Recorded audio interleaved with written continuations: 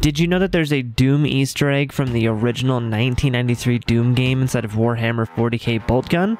The Easter egg can be found at the very end of the first level within Warhammer 40k Boltgun. You drop down this huge elevator shaft and you walk in the next room, and that room right there has the exact same layout as the first room within the 1993 Doom game.